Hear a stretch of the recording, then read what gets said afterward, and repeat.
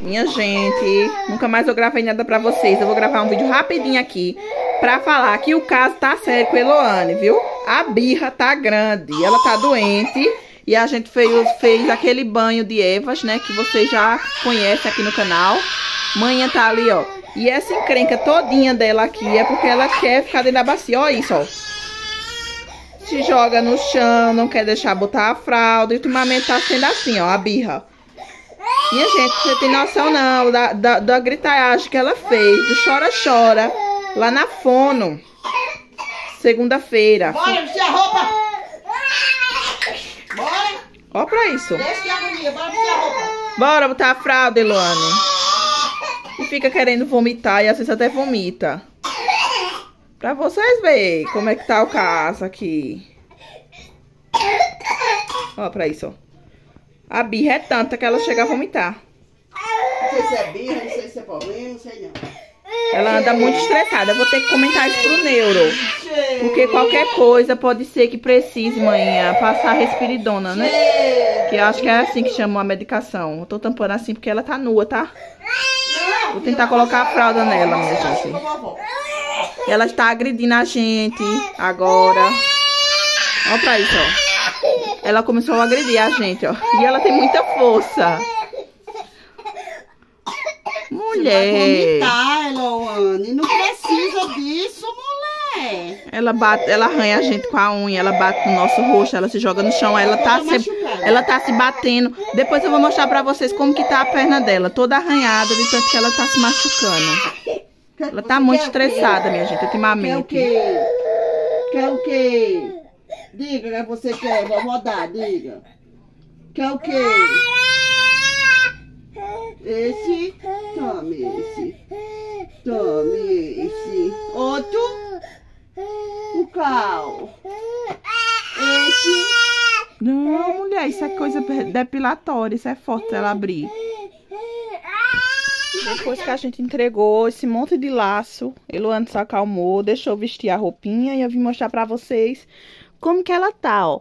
Ó, tá vendo esses machucados aqui, ó, tudo roxo? Isso é Eloane que tá se jogando no chão, minha gente. Tá com as pernas tudo arranhadas, ó pra aqui, ó, tudo roxo, as pernas. Isso não é maltrato da gente não, tá? Isso é ela. A, a testa tá machucada, que ela fica batendo com a testa na parede ou no chão. Eu não sei. Vocês deixam a opinião de vocês, porque eu sempre tô pedindo a opinião de vocês. Eu tô gravando tudo, videozinhos curtos, pra tá relatando ao neuro agora, quando a gente for no mês de é, fevereiro, tá? Tá marcado pra dia 28, que a gente tá indo pra o H-Menon Magalhães, em Recife, né? Pra um neuropediatra. Essa aqui não pode, meu amor. Eu nem vi que essa lixinha tava aqui, ó. Ai de mim se eu tomar agora, manhã. Vou ficar de olho pra ela não colocar na boca. Aí o que que acontece? Eu vou relatar tudo isso. Eu vou relatar tudo isso pra, pra o neuro, tá? Pra que ele veja como, o que é que vai ser feito. Porque, eu, assim, eu não acho, eu não sei. Mas eu não acho que esse comportamento de Loane seja um comportamento normal.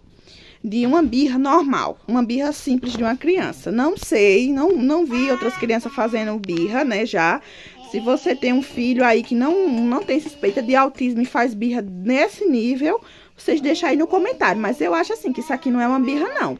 A orientação da Fono foi o quê? Ela fez uma birra parecida lá no dia da consulta da Fono. E a orientação que a Fono me passou foi a seguinte: deixa chorar. Ela queria um brinquedo que a Fono tava brincando e a sessão tinha acabado, né? A consulta tinha acabado. Aí o que ela que, que ela que Eloane queria? Trazer o brinquedo para casa. Aí ela disse: "Eloane, esse brinquedo aqui vai para outro bebê brincar.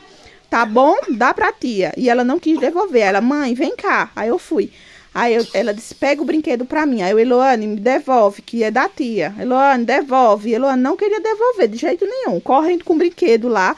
E demorou alguns minutos para eu tomar o brinquedo. Aí o que foi que eu fiz? Eu fui lá e tomei o brinquedo à força, né? Porque eu tinha que devolver, porque ela já ia chamar outro paciente, coisa do SUS, é tudo muito rápido.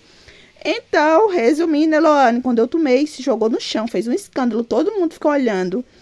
É, se jogou na parede, bateu na parede, não queria ir pro colo. Foi muito tempo pra gente acalmar ela, tá? A gente desceu depois para o centro. Foi quando a gente foi lanchar. Ela também estava com sono, porque nesse dia ela não tinha dormido bem. Ela tinha acordado três da manhã e tirou direto, minha gente. Ela deu sete horas da manhã, ela não dormiu. Oito horas da manhã, ela não dormiu. Nove. Ela veio pegar no sono um cochilinho no ônibus, voltando de onze horas. E no ônibus ela fez mais um escândalo. Que quem é daqui do sítio e veio nesse ônibus viu que Eloane fez um escândalo enorme. Até o motorista ficou olhando, tá? Tudo isso porque ela queria estar tá andando no meio do ônibus, sendo que o ônibus estava em movimento. Porque a gente estava voltando pro sítio de ônibus, tá? Então, eu vou virar a câmera para conversar com vocês e atualizar algumas coisas que aconteceu aqui. Pedir desculpa mais uma vez por eu não estar tá gravando vídeo e relatar o que é está acontecendo aqui com o canal, tá? Porque é, o YouTube não realizou o pagamento nesse mês e, pelas minhas contas, eu deveria ter recebido. Mas deixa eu virar a câmera para conversar com vocês. Deixa eu só organizar a bagunça e tirar a Eloana daqui que eu tenho medo dela cair da cama, porque ela tá bem na beiradinha da cama. Vocês estão vendo, ó? Daqui a pouco eu volto, tá? É, coisas que estão mudando no comportamento de Loane, né? Eu nunca mais gravei vídeo de rotina, infelizmente, pra vocês, mas eu preciso gravar pra vocês estar vendo. É assim, todo dia é uma coisa diferente que aparece. A gente que é mãe, sendo com um filho autista, sem ser autista, com suspeita de autismo, sabe que todo dia é uma descoberta nova, uma descoberta diferente. E com Eloane, ainda mais pelo fato de a gente estar tá nessa suspeita, né? A gente fica nesse nesse embate aí, ó. É, não é. A gente acha que é, a gente acha que não é. E como a gente não voltou pro neuro, então a gente não tem ainda o diagnóstico. E eu acho que não vai ser uma coisa tão rápida assim pra gente conseguir. Porque até ele me disse que tinha um longo caminho a percorrer. Que o, o início seria fazer a, a sessão com a fono e com a terapia ocupacional. A fono, Eloane já fez, já foi três vezes, né? A primeira eu participei da consulta, as outras duas. A segunda foi para observação a terceira foi aqui, eu disse a vocês que Eloane fez uma, uma birra enorme lá. Então, ela, o que foi que ela me relatou a respeito do comportamento de Eloane? Que ela prefere brincar mais sozinha do que com ela, né? Porque a Fone disse que pegou os brinquedos, sentou no chão com Eloane, né? A profissional lá disse que sentou no chão com Eloane e começou a mostrar para ela a, os brinquedos com o intuito que ela repetisse. Mas o comportamento de Eloane foi outro. Ela disse que ela pegou o brinquedo e simplesmente saiu pro canto pra brincar só. Aí ela pegava um, pegava outro, pegava um, pegava outro. Então, tipo assim, geralmente, comportamento de uma criança autista é ter apego por uma coisa. Eloane tem esses momentos de ter apego por um objeto? Tem. Mas também tem um momento que Eloane quer explorar todo o ambiente. Então, ela é imperativa, como eu falei pra vocês. Acho que é essa palavra que ela falou pra mim, imperativa. Que ela não para, não para. Então, Eloane, eu, tipo assim, não fiquei muito próximo, né? Mas ela disse que falava assim pra mim. Eloane, isso aqui é tal coisa. Olha, vem brincar com a tia. Isso que Eloane não queria saber. Na hora que terminou, Eloane não queria sair da sala. Então, o que eu achava que seria que Eloane iria chorar para ficar com ela, é, para não ficar com ela, né? Tipo, querer voltar para meus braços. Quando Eloane vê a porta da sala aberta, Eloane já entra. Porque ela sabe que ali dentro tem brinquedos. E ela entrou na sala e ela não queria sair. Então foi uma luta pra gente acalmar ela depois que eu tomei um brinquedo. Porque ela queria, porque queria trazer o brinquedo pra casa. E o, o que foi que ela me orientou? Ela disse: olha, deixa chorar. Deixa chorar. Então ela começou a fazer escândalo lá e eu olhei para ela assim, perguntando. No meu olhar, eu tava perguntando assim: eu posso deixar ela um pouquinho mais com o brinquedo? Aí ela olhou e disse: mãe, pega o brinquedo. Ela tem que entender que agora é a hora dela devolver o brinquedo. E eu ainda olhei para ela assim, rindo, como se eu quisesse dizer: Deixa a menina com o brinquedo. Aí ela, mãe, pega o brinquedo. Aí eu peguei o brinquedo de, de Eloane e o escândalo aconteceu. Mas ela vai chorar, ela deixa ela chorar. Parecia que ela queria ver se Eloane fazia aquele comportamento. Quando eu tomei o brinquedo que Eloane estressou, minha gente, de uma forma que Eloane batia nas, nas, nas portas da sala, se jogou no chão, começou a, a se bater assim, bater na parede todo mundo, o recepcionista, o pessoal que tava esperando para ser atendido, a fono, ficou assim, ó. Aí depois ela me chamou na sala para conversar, né? Eu deixei Luane com o pai dela. E foi aí que ela disse que ela realmente tem um comportamento muito estressante, muito agressivo. É, a agressividade dela não é bater na gente, apesar que, mais um comportamento que apareceu agora há pouco. Luane começou a querer agredir a gente, tá? Tipo assim, a gente coloca ela no colo, ela quer descer, ela aprendeu a, a apertar o nosso pescoço. Vocês acreditam? E ela tem muita força. Não sei o que é que tem. Todas as crianças têm força, mas criança sim. Não sei que força é essa, minha gente. Olha, se joga para trás, se quebra todinha para trás, assim, capaz de dar um mau jeito na coluna. Aperta o pescoço da gente, bate no meu rosto e fica assim com a unha, ó. E no rosto de manhã. Manhã tá com alguns arranhões no rosto.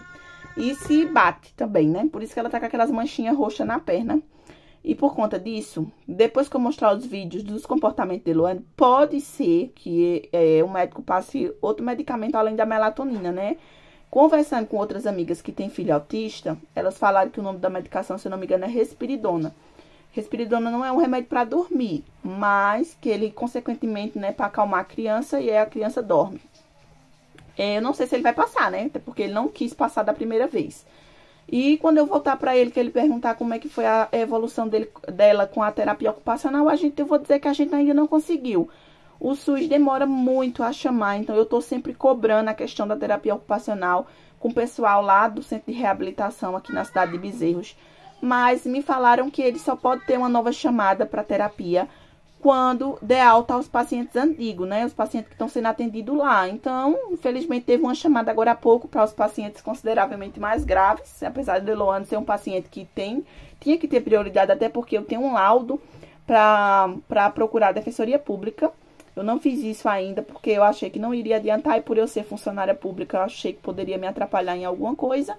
Eu deixei quieto, né? Fiquei esperando é, com medo, né, de perder emprego, esse tipo de coisa, né? A gente fica pensando tudo nisso. Aí ele também tinha dado um prazo para chamar a Eloane, mas até agora esse prazo não está sendo cumprido e eu tô sempre cobrando essa questão.